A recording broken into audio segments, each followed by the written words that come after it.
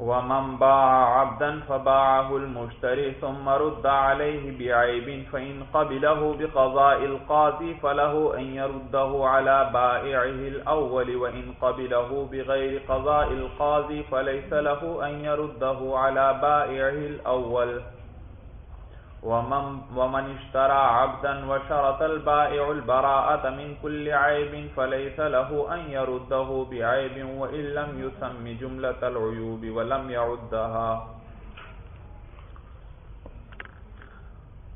گزشتہ سبق میں بھائی مسئلہ ہم پڑھ رہے تھے۔ میں نے آپ کو بتلایا تھا بھائی، شریعت آپ کی شریعت نے آپ کو اختیار دیا ہے، آپ کوئی چیز خریدتے ہیں، اس کے اندر کوئی عیب پاتے ہیں جو بائے کے پاس سے آیا ہے، تو آپ کیا کر سکتے ہیں؟ اس چیز کو واپس کر سکتے ہیں۔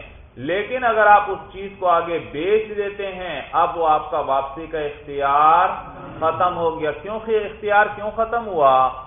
کیونکہ اس مبیے کی واپسی میں آپ خود رکاوٹ بن گئے۔ کیا بن گئے؟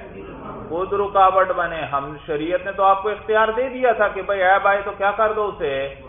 واپس کر دو۔ لیکن آپ نے جب آگے اس کو آپ اسے بیچ چکے ہیں تو اب رکاوٹ آپ بنے ہیں۔ لہذا آپ واپس نہیں کر سکتے۔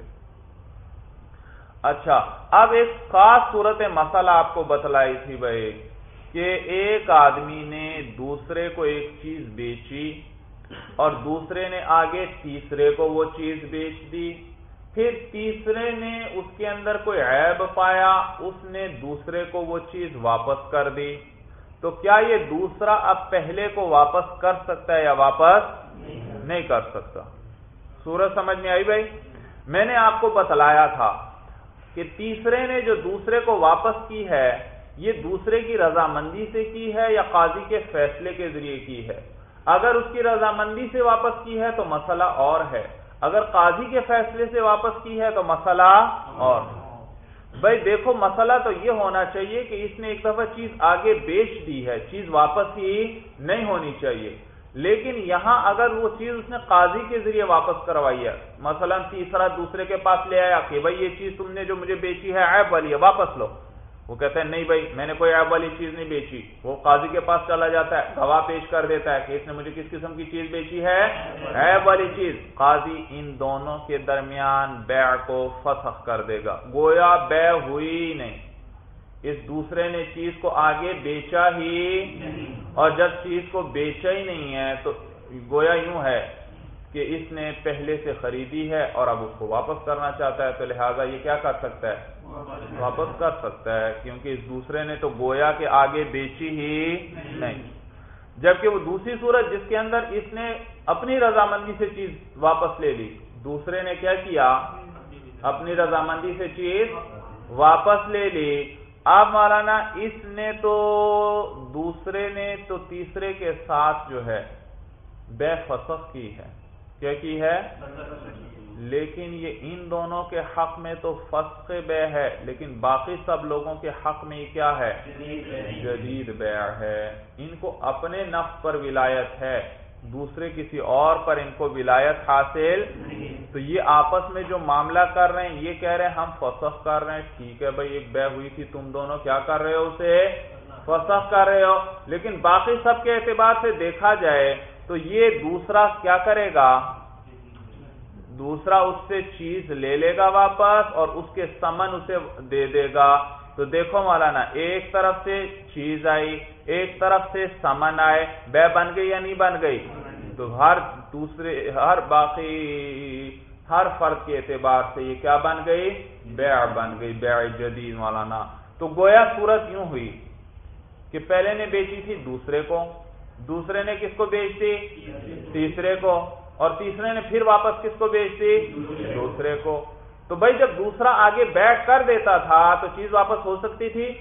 جب ایک بیع سے چیز واپس نہیں ہو سکتی تھی، اب تو دو بیع پائی جا رہی ہیں تو اب بطریق اولا واپس نہیں کر سکتے۔ سورج بھی سمجھ میں آ رہی ہے کہ نہیں سمجھ میں آئی بھائی؟ سب کو سمجھ میں آ گئی۔ تو ضابطہ کیا ہوا کہ اگر ایک شخص چیز کو بیچے اور خریدنے والا پھر آگے چیز کو بیچ دے، پھر وہ چیز اس کے پاس واپس آ جائے۔ اگر قضاء قاضی سے واپس آئی ہے تو یہ پہلے کو کیا کر سکتا ہے واپس؟ لیکن اگر اس کی اپنی رضامندی سے واپس آئی ہے تو واپس نہیں کر سکتا۔ یہی صورت بتلا رہے ہیں۔ وہ ممبا آبدن اور جس نے کسی غلام کو بیچا فبا المشتری پھر مشتری نے اسے بیچ دیا۔ اس نے بیچا تھا مشتری کو اور مشتری نے اسے آگے بیچ دیا۔ سم مرد علیہ بعیب پھر وہ چیز واپس کی، لوٹائی گئی بھائی مشتری پر کسی حیب کی وجہ سے۔ فَإِن قَبِلَهُ بِقَضَاءِ الْقَاضِ بس اگر اس نے اسے قاضی کے فیصلے کی وجہ سے قبول کیا ہے بھائی فَلَهُ أَن يَرُدَّهُ عَلَى بَائِعِهِ الْأَوَّلِ۔ تو اس کے لیے جائز ہے کہ یہ اس کو لوٹا دے بھائی کس پر؟ بائے اول پر۔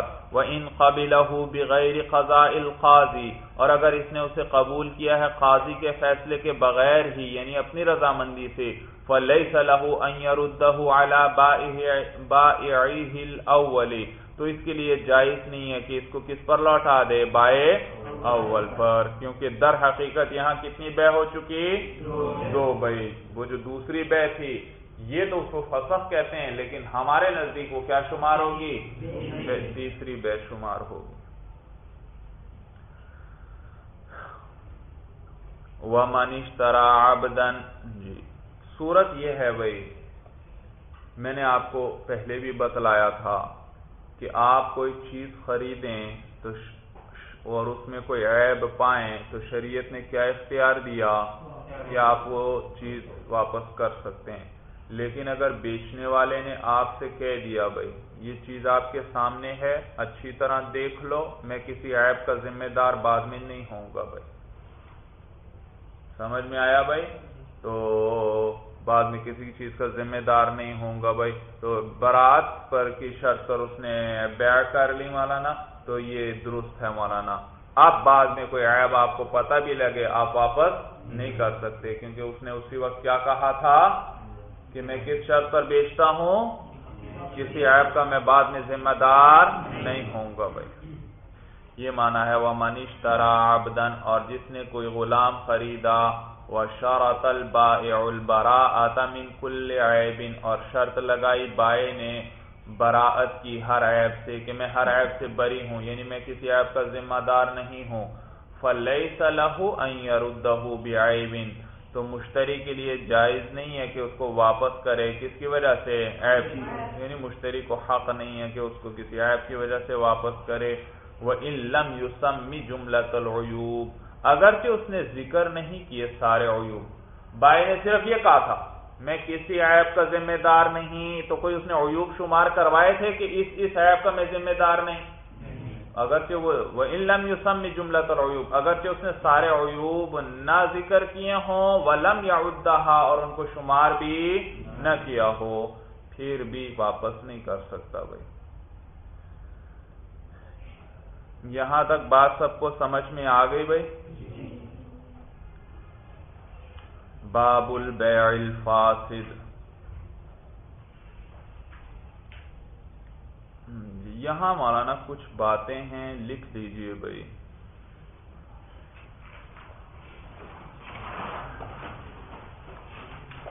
جلدی جلدی لکھیے بھائی، جلدی لکھیے۔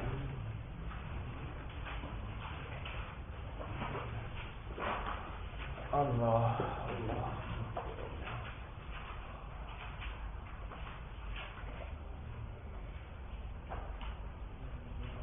بے چار قسم پر ہے۔ بیع چار قسم پر ہے۔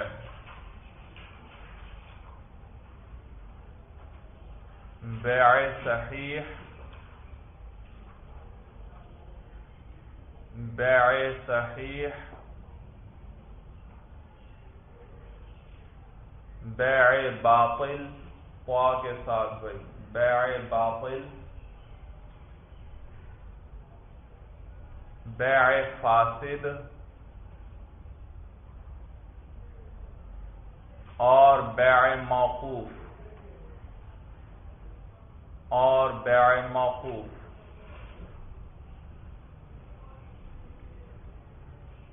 بیع صحیح وہ ہے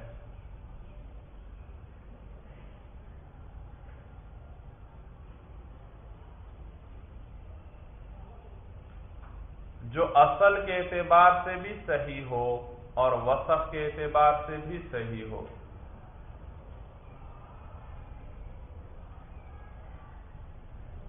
بیع صحیح وہ ہے جو اصل کے اعتبار سے بھی درست ہو اور وصف کے اعتبار سے بھی درست ہو۔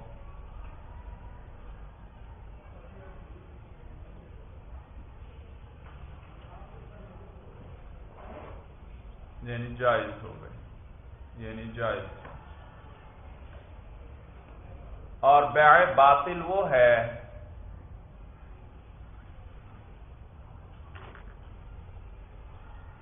بیع باطل وہ ہے جو اصل یعنی ذات کے اعتبار سے ہی درست نہ ہو، جو اصل یعنی ذات کے اعتبار سے ہی درست نہ ہو۔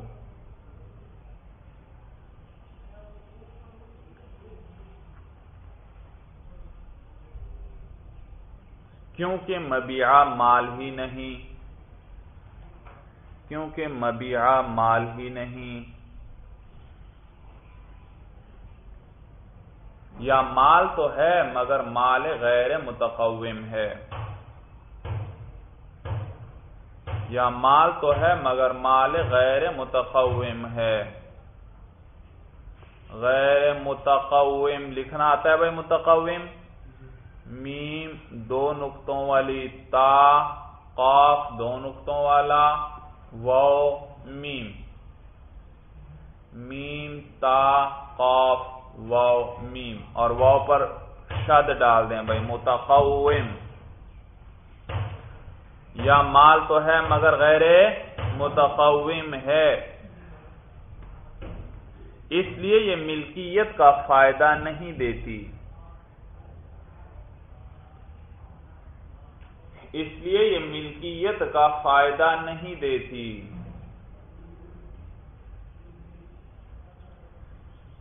تو مشتری کو تصرف کا حق بھی حاصل نہیں ہوتا۔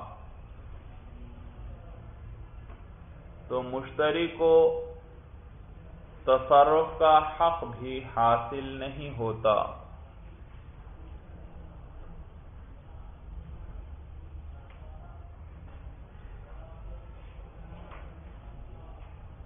الگ سطر لکھیے بھائی۔ بیع فاسد وہ ہے بیع فاسد، وہ ہے۔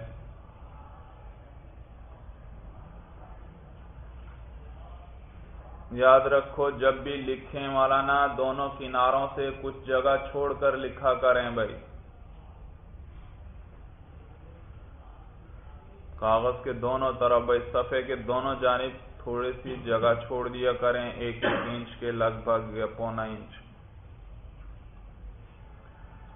جبکہ بیع فاسد وہ ہے جو ذات اور اصل کے اعتبار سے تو جائز ہے، کے اعتبار سے تو جائز ہو۔ جو ذات اور اصل کے اعتبار سے تو جائز ہو۔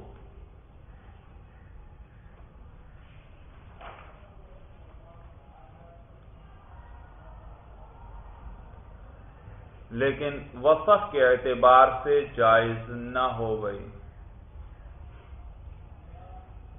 لیکن وصف کے اعتبار سے جائز نہ ہو۔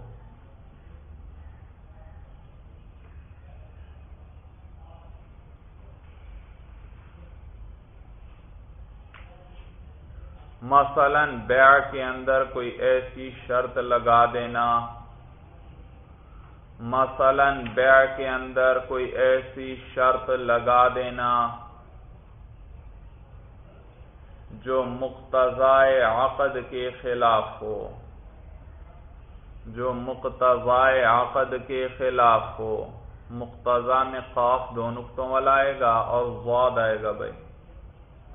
جو مقتضائے عقد کے خلاف ہو۔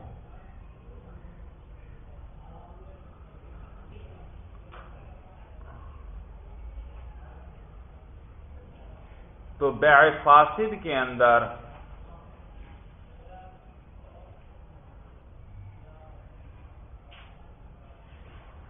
جب مبیع پر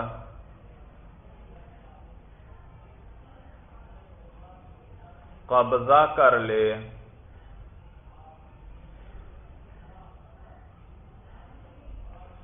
قبضہ کر لے، تو اسے تصرف کا حق تو اسے ملکیت تو حاصل ہو جاتی ہے۔ تو مشتری کو تو مشتری کو ملکیت تو حاصل ہو جاتی ہے۔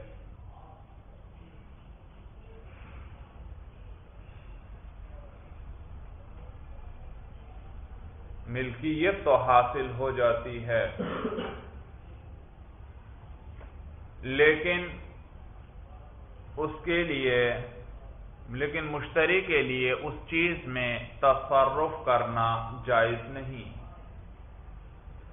لیکن مشتری کے لیے اس چیز میں تصرف کرنا جائز نہیں۔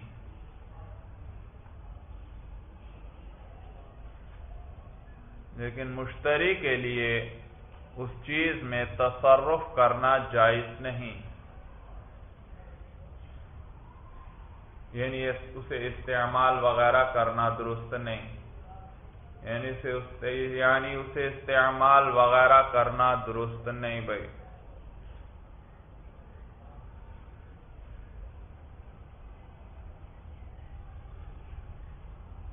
اور اس بیع کو ختم کرنا واجب ہے۔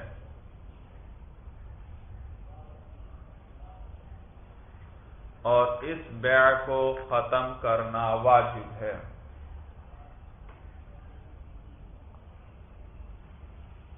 اور اس بیع میں سمن نہیں آتے بلکہ قیمت آتی ہے۔ سمن نہیں آتے بلکہ قیمت آتی ہے۔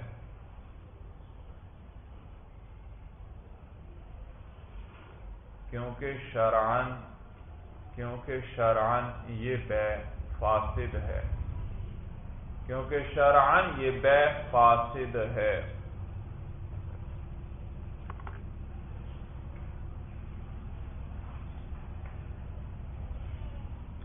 بیع موقوف۔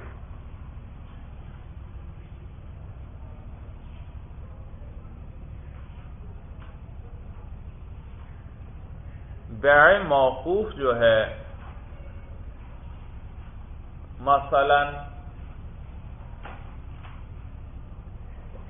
بیع فضولی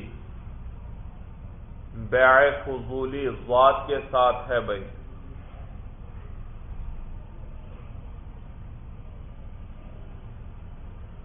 بھائی بیع فضولی یاد ہے یا نہیں یاد آپ لوگوں کو بھائی؟ کسے کہتے تھے بیع فضولی؟ ہاں مالک کی کسی غیر کی چیز کو کوئی شخص اٹھا کر فروخت کر دے مولانا، یہ کیا کہلاتی ہے؟ فضولی مولانا۔ تو یہ آپ کو بتلایا تھا، یہ بے موقوف رہے گی مولانا، مالک کیونکہ چیز غیر کی ہے، غیر کی ہے۔ تو یہاں بے مالک کی اجازت پر موقوف ہوگی۔ تو یہاں بے مالک کی اجازت پر موقوف ہوگی۔ اگر وہ اجازت دے دے تو ہو جائے گی، رد کر دے تو ختم ہوگی، ختم ہو جائے گی۔ اگر وہ اجازت دے دے تو بے ہو جائے گی۔ اور اگر رد کر دے تو بے ختم ہوئی۔ تو بے ختم ہوئی۔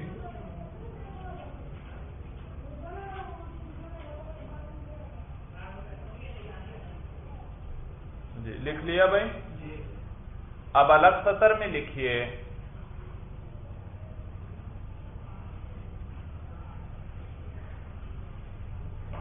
بیع صحیح کے اندر بیع صحیح کے اندر۔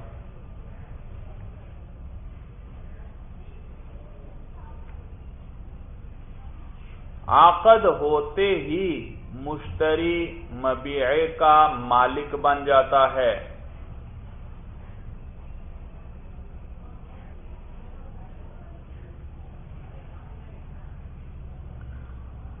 عقد ہوتے ہی مشتری کیا بن جاتا ہے؟ مبیعے کا مالک بن جاتا ہے، اگرچہ ابھی قبضہ نہ کیا ہو۔ اگرچہ ابھی قبضہ نہ کیا ہو۔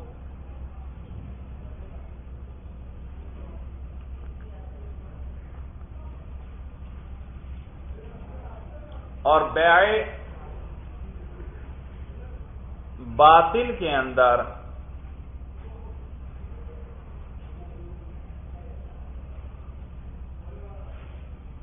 مشتری سرے سے اس چیز کا مالک ہی نہیں بنتا۔ اور بیع باطل میں مشتری سرے سے اس چیز کا مالک ہی نہیں بنتا۔ اگرچہ اس پر قبضہ بھی کر لے۔ اگرچہ اس پر قبضہ بھی کر لے۔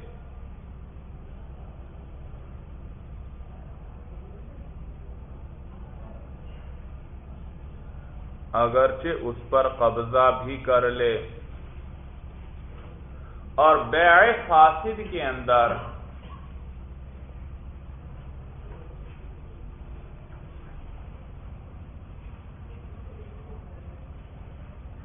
اور بیع فاسد کے اندر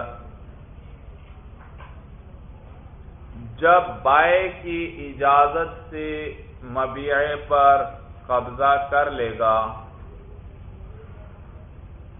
جب بائے کی اجازت سے مبیعے پر قبضہ کر لے گا،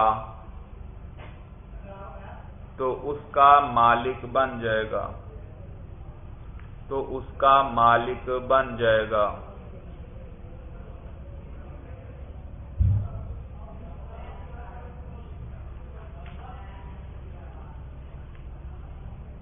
جبکہ بیع موقوف میں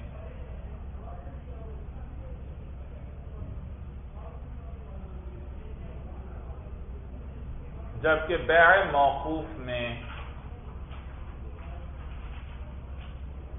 مشتری مبیعے کا مالک نہیں مالک نہیں بنتا۔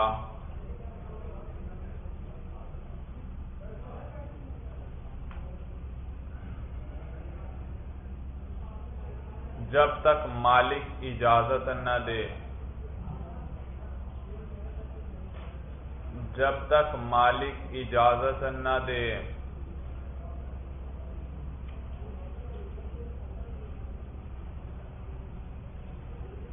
اگرچہ چیز پر قبضہ بھی کر لے۔ اگرچہ چیز پر قبضہ بھی کر لے۔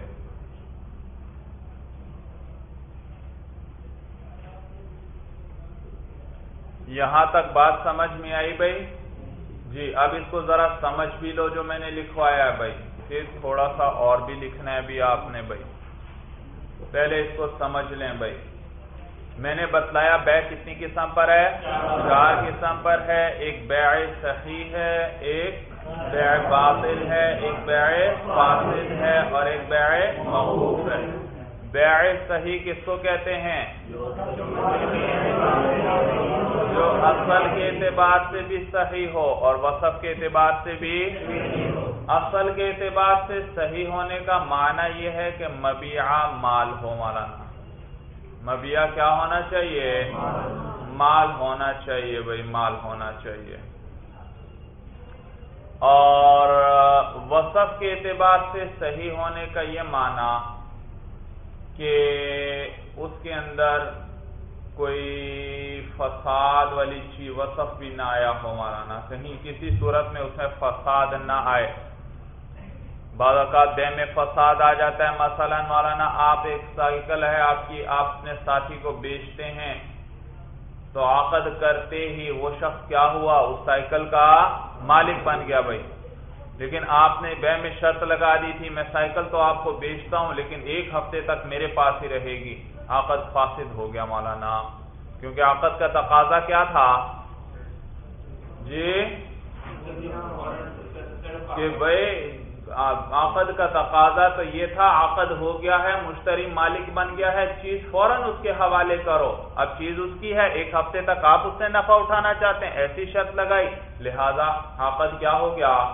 فاصل تو یہ شرط مقتضى عقد کے خلاف ہے۔ عقد تو کیا تقاضا کرتا تھا کہ یہ چیز کس کی ہو چکی؟ مشتری کی، فوراً اس کے حوالے کی جائے۔ لیکن آپ نے ایک شرط بیچ میں لگا دی اور یہ شرط مقتض عقد کے مطابق ہے اس کے خلاف ہے؟ اس کے خلاف ہے۔ عقد تو کیا تقاضا کر رہا تھا؟ یہ فوراً دے دی جائے بھائی۔ تو یہ مقتض عقد کے خلاف ہوئی، لہذا عقد فاسد ہوا۔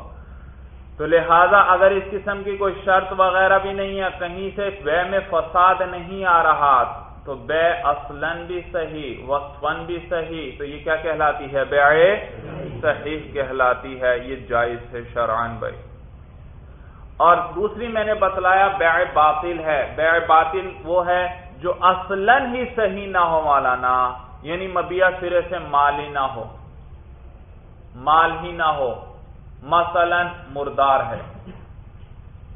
مردار ہے۔ مردہ بکری بکری ایک جگہ پڑی ہے مولانا، ایک شخص اسے اٹھا کر اٹھا کر بیچتا ہے۔ بھائی یہ تو مردار ہے، یہ تو مال ہی نہیں ہے۔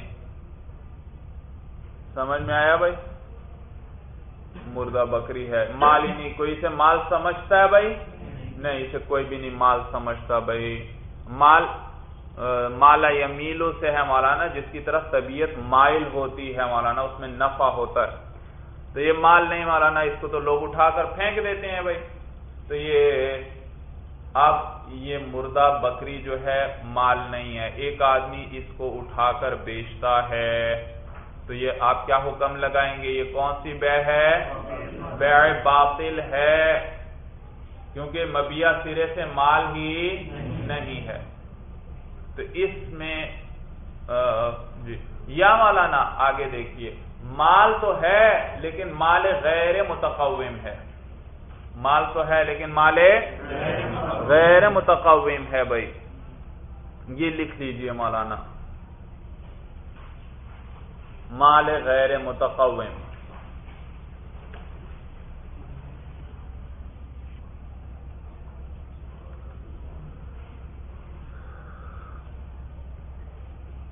مال غیر متقوم۔ وہ چیز ہے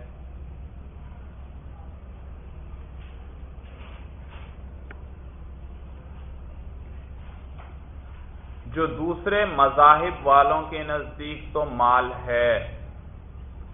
جو دوسرے مذاہب والوں کے نزدیک تو مال ہے۔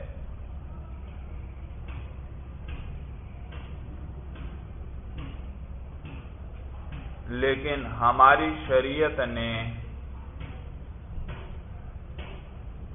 لیکن ہماری شریعت نے اس سے نفع اٹھانے کو حرام قرار دے دیا ہے۔ اس سے نفع اٹھانے کو حرام قرار دے دیا ہے۔ حرام قرار دے دیا ہے۔ جیسے شراب اور خنزیر۔ جیسے شراب اور خنزیر۔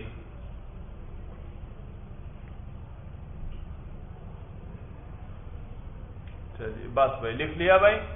تو دیکھو، یہ مال غیر متقویم ہے۔ دیکھو، شراب اور خنزیر۔ دوسرے مذاہب والے مولانا اس کو ان چیزوں کو بیچتے ہیں یا نہیں بیچتے بھائی؟ بیچتے ہیں، ان کے نزدیک یہ مال ہے، خرید و فروخت ان کی ہوتی ہے، لیکن شراب اور خنزیر ہماری شریعت نے ان کو حرام قرار دے دیا بھائی۔ حرام قرار دے دیا۔ یہ نجس ہے مولانا، اور ان سے نفع اٹھانا جائز نہیں۔ تو ان کا نہ بیچنا جائز اور نہ خریدنا جائز بھائی۔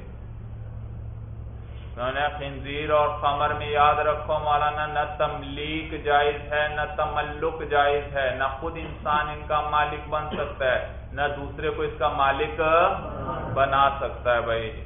یہ بھی ضابطہ یاد رکھنا مولانا، یہ ضابطہ بھی۔ خمر اور خنزیر میں نہ تملیک جائز ہے، تملیک کا معنی ہے دوسرے کو مالک بنانا ملک یملک تملیکن اور تملک کا معنی ہے خود مالک بننا۔ لکھ لو بھائی، یہ لفظ لکھ لو بھائی، جلدی جلدی۔ خمر اور خنزیر میں نہ تملیک جائز ہے اور نہ تملک جائز ہے۔ چھوٹے کاف ہیں دونوں میں بھائی، ملکیت والا کاف۔ خمر اور خنزیر میں نہ تملیک جائز ہے نہ تملک جائز ہے۔ تملیک کا کیا معنی بتلایا میں نے؟ دوسرے کو مالک بنانا۔ اور تملک کا کیا معنی ہے؟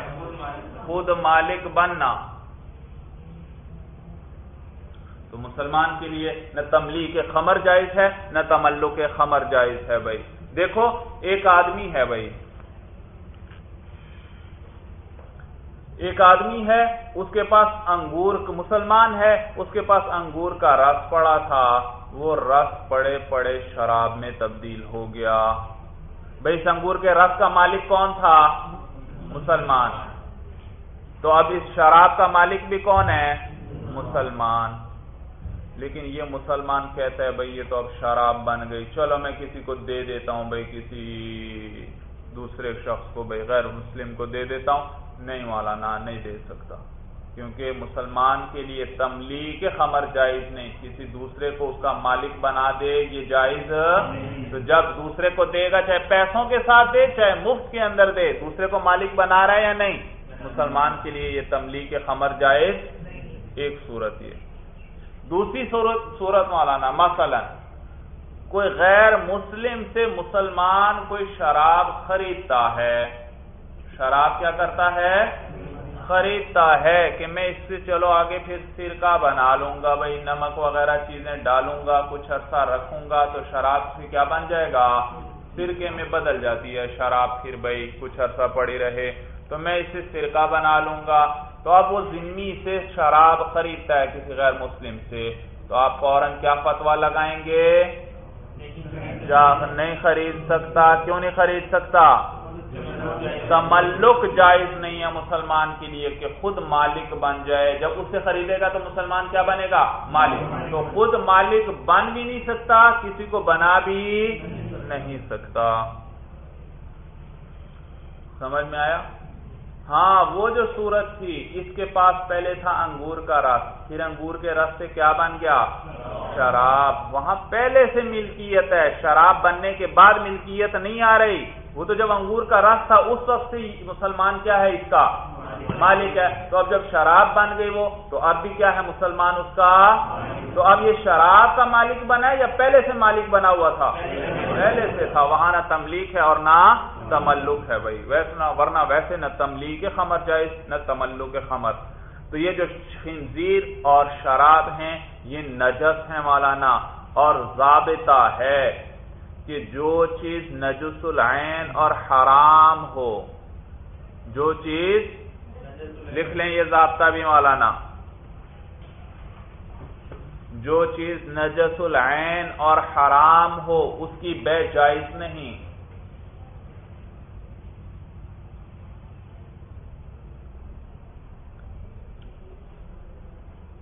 جو چیز حرام اور نجس العین ہو، جو چیز نجس العین اور حرام ہو، اس کی بے جائز نہیں۔ اس کی بے جائز نہیں۔ سوائے سرقین کے یعنی گوبر کے۔ سوائے سرقین بھائی، سین را عربی لفظ بھی لکھ لیں بھائی کام آ جائے گا، کبھی یاد رہ جائے گا۔ آپ کو سین، را، قاف دو نقطوں والا، یا نون۔ اور سین پر فتحہ بھی ڈالو مولانا، سرقین سرقین۔ سرقین یعنی کہ گوبر بھائی ضرورت کی وجہ سے، ضرورت کی وجہ سے۔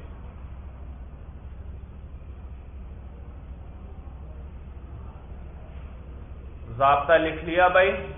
کیا ضابطہ ہوا کہ جو چیز حرام ہے نجس ہے اس کو بیچنا اس کی بے جائز نہیں ہے مولانا؟ سوائے کس کے؟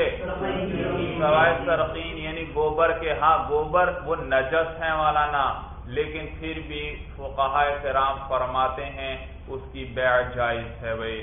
کیونکہ اس کی ضرورت پڑتی ہے بھائی، اس کے ذریعے آگ جلائی جاتی ہے، اس سے لوگ کھاد وغیرہ بناتے ہیں، تو اس کی حاجت ضرورت زیادہ پیش آتی ہے، تو اس کی اجازت ہے بھائی۔ سمجھ میں کھاد وغیرہ مٹی میں ملا کر کھاد بنا لی جاتی ہے۔ جی تو بات چل رہی تھی غیر متقوم کی بھائی۔ میں نے بتلایا غیر متقوم کس کو کہتے ہیں؟ دوسروں کے نزدیک تو مال ہے، لیکن ہماری شریعت میں مال نہیں شمار، اس کی کوئی قیمت نہیں۔ تو مال تو ہے، لیکن غیر متقوم ہے یعنی کوئی اس کی قیمت نہیں ہے۔ ہماری شریعت نے اس کی کوئی قیمت نہیں رکھی بھائی تو یہ شراب وغیرہ اور خنزیر مال ہیں، لیکن کون سا مال ہے؟ غیر متقوم ہے، مولانا، غیر متقوم تو لہذا ان کی بیع بھی کیا ہے؟ باطل ہے باطل ہے۔ کیونکہ میں نے کیا لکھوایا تھا ضابطہ کہ بیع باطل کس کو کہتے ہیں؟ جو ذات کے اعتبار سے صحیح نہیں ہے یعنی مبیع سرے سے مال ہی نہ ہو یا مال تو ہو لیکن کون سا مال ہو؟ غیر سرے سے مال ہی نہیں ہے جیسے مردہ بکری بیچی۔ بھائی مردہ بکری مال ہی نہیں ہے اس کو بیچتے کیسے ہو؟ اس سے سرے سے کیا ہوا؟ سرے سے بے ہی نہیں ہوئی۔ لہذا مشتری اس کا مالک بھی اسی طرح بھائی، مال تو ہے لیکن غیر متقویم ہے، شراب یا خنزیر ہے، اس کو بیچ دیتا ہے۔ اب مولانا، یہ بے کون سی ہوئی؟ بے باطل ہوئی۔ اور بے باطل کے اندر مالک بنتا ہے دوسرا؟ نہیں۔ تو مشتری سرے سے اس کا مالک ہی یوں سمجھیں گے گویا بے ہوئی نہیں تھی مولانا۔ سورج سمجھ میں آگے یہ بے باطل ہے۔ جو اصلاً ہی صحیح نہیں ہوتی، ذات کے اعتبار سے بالکل کسی بھی لحاظ سے ٹھیک نہیں ہے۔ تو اس کے اندر مشتری مالک بھی نہیں بنتا بھائی۔ کیونکہ اس کے اندر مبیع مال ہی نہیں ہے، یا مال تو ہے، لیکن کیا ہے؟ غیر